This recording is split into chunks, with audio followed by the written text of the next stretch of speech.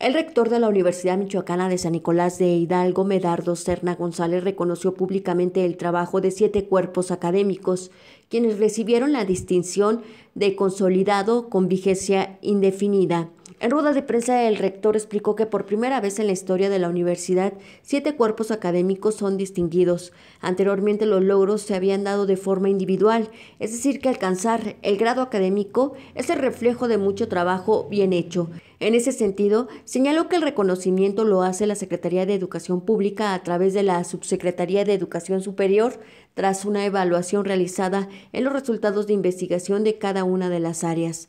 Para el caso de la Universidad Michoacana, fueron siete cuerpos académicos, de los cuales son dos de química, uno en matemáticas, otro en arquitectura, dos de ingeniería física y uno de la Facultad de Ingeniería Eléctrica.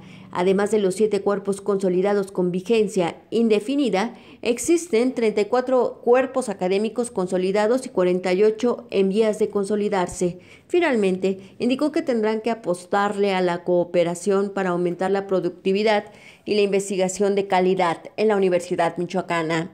Carla Yala, respuesta.